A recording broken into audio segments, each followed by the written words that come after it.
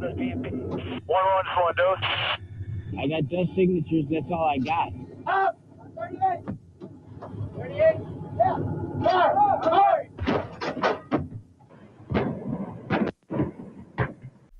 The M60A1 Rise passive tank is an upgraded version of the M60 tank. This model started from the M60A1 and added the RISE package, standing for Reliability Improved Selected Equipment, which was all about making the tank more reliable, tougher, and better for night missions. The RISE passive package introduced a bunch of technological upgrades and design tweaks to improve overall performance. Some of you guys described this tank as a mystery which is not much known about, and to be honest, after searching for some info about it on YouTube, I didn't find much either. So I went on to do the research for you guys and put all the info I found together. And this is what we're gonna talk about today. So hello and welcome and enjoy this video. So before we talk about the M60 Rise passive, let's first talk about the M60 in general. And I'm not going to go into deep detail about the history and everything, but instead provide a short overview of the tank.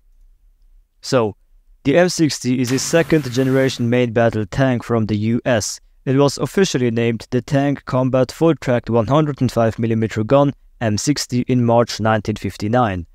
Although it was based on the M48 Patton tank, the M60 was never actually given the name Patton. During the Cold War, the M60 became America's main battle tank with a total of 15,000 units produced. The M60 tank was first used in combat by Israel during the 1973 Yom Kippur War. The Israelis called it the Magach 6 and it performed well in battles against similar tanks like the T-62. Later in 1982, Israel used the M60 again in the Lebanon War. The US also used M60s in 1983 during Operation Urgent Fury, where they supported Marines in an attack on Grenada. Some M60s were sent to Iran as well, where they were used in the Iran Iraq War. The biggest use of M60 tanks by the US was during the 1991 Gulf War, where the US Marines used M60A1s to successfully take on Iraqi armed forces supposedly including T-72 tanks, which I personally find hard to believe. But perhaps an M60 with APFSDS and some upgrades might be able to take on a T-72, but who knows. After Operation Desert Storm, the US stopped using the M60 in frontline combat and retired the last ones from the National Guard in 1997. However, many other countries still use the M60 tanks today although most of these tanks have been heavily upgraded. Talking about upgrades, the M60 tank has had a lot of upgrades over its lifetime. Its hull has been used to make many different types of vehicles like armored recovery vehicles, bridge layers and combat engineering vehicles. As of 2015, Egypt has the most upgraded M60A3 tanks with more than 1700 of them in service.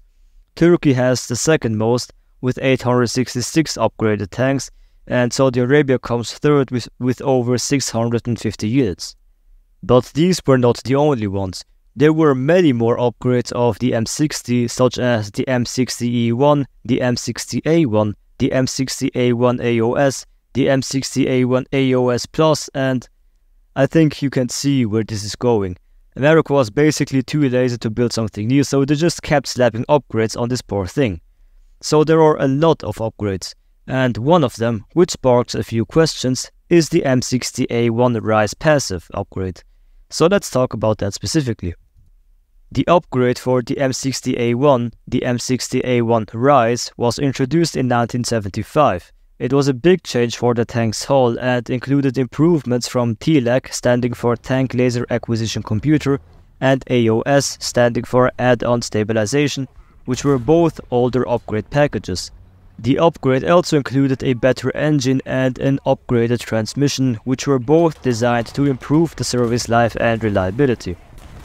They also improved the electrical system by adding an oil-cooled alternator, a solid-state regulator and new wiring with connectors which were easier to access. Other changes included adding armored steel T-lag panels and switching back to stronger steel road wheels and return rollers. This updated version was called the M60A1 RISE, with RISE standing for Reliability Improved Selected Equipment.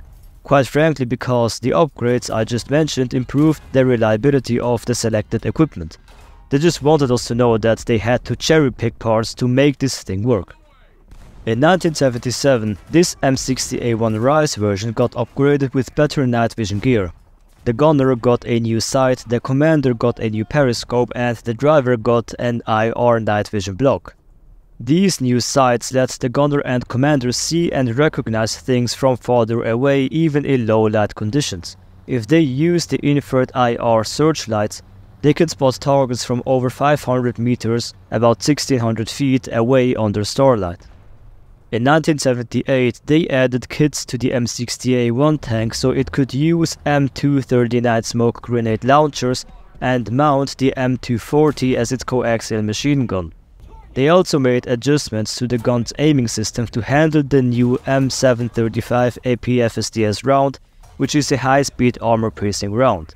Tanks which were updated with the mentioned night vision gear, smoke grenade launchers, different coaxial machine gun and adjusted gun aiming system for the new APFSDS round were called M60A1 Rise Plus. Later on, another upgrade was made which had all the mentioned upgrades plus a few new features such as a passive night vision system for the commander, gunner and driver without the need of an infrared searchlight, hence the passive in the name. It came with the ability to be fitted with a deep water fording kit to cross deeper water. In addition to that, it received the vehicle engine exhaust smoke system, which created a smoke screen around the tank by diverting gas directly into the exhaust system. Not to forget, it again got a better engine with a better transmission. In late 1978, they added two smoke grenade launchers, one on each side of the main gun. They also replaced the coaxial machine gun with an M240C. The smoke grenades were loaded with a special phosphor compound which hid the tank's heat signature from the enemy and therefore made it harder to spot with thermal sensors. This final version was called the M60A1 Rise Passive. And that's basically the history of the M60A1 Rise Passive. It's really just one of many upgrades of the M60. But the Americans didn't stop after this version. They just kept coming up with more and more upgrades for the M60. During the production of the M60A1 tank, a bunch of engineering tweaks were made to make the tank safer, more reliable, easier to maintain, and better in action.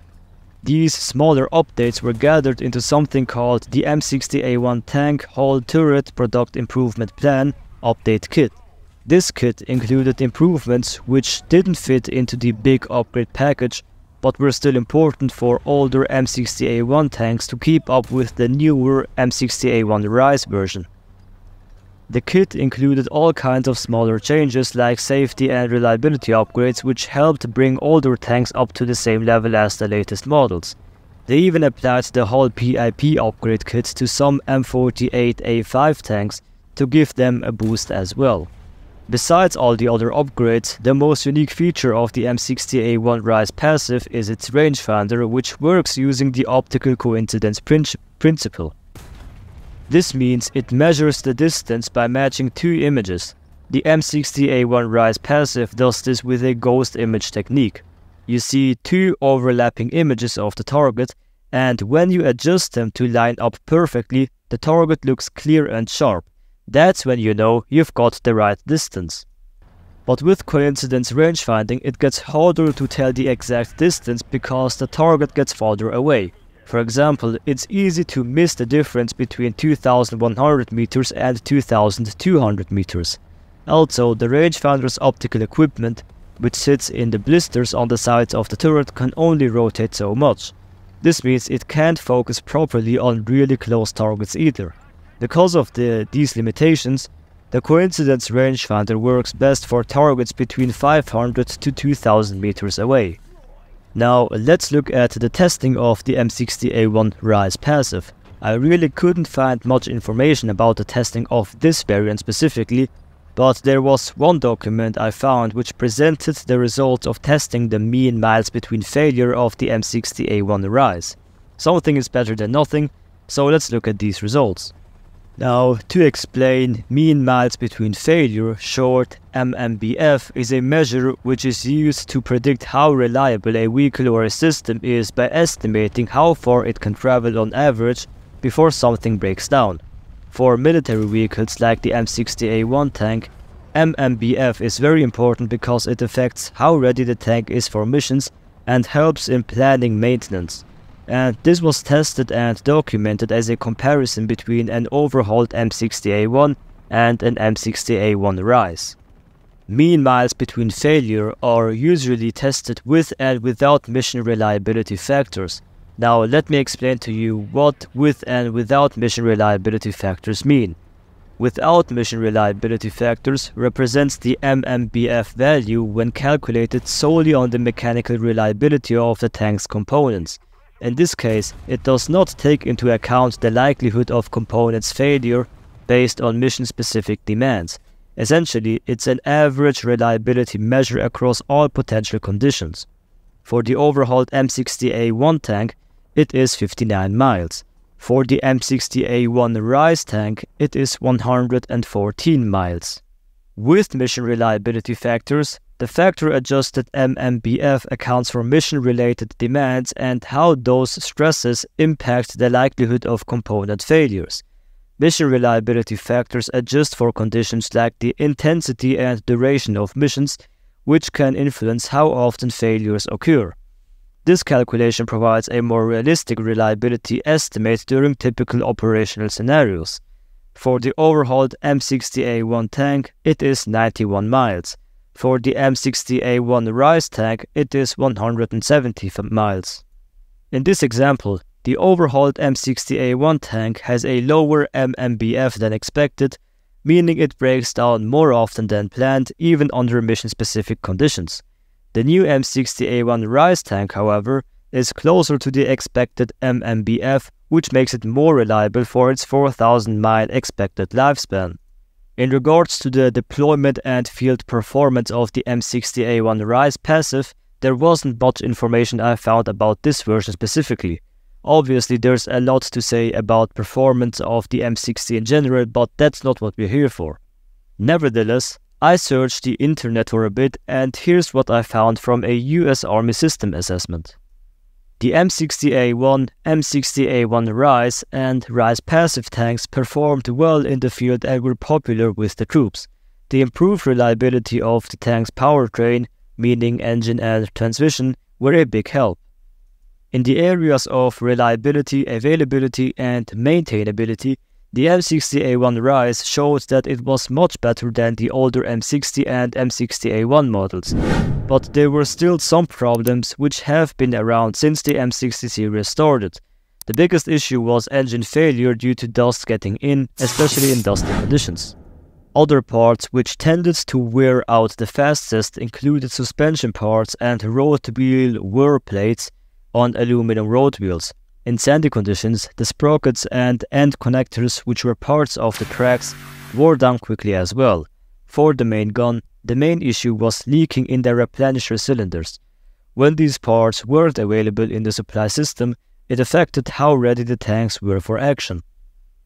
Long story short, by the 1980s, even with upgrades, the M60A1 Rise passive was seriously outdated. The tank's old range-finding gear and basic armor made it fall behind more advanced tanks like the M1 Abrams and M60A3 TTS. Because of this, it was mostly kept in reserve instead of being used on the front lines. Anyways, that was all I had to say for today's video. I hope you enjoyed it. If you think I said anything that is not right or you think I should have added any additional information to this video, please let me know in the comments and share your knowledge. Besides that, Thanks for watching and I'll see you in the next video.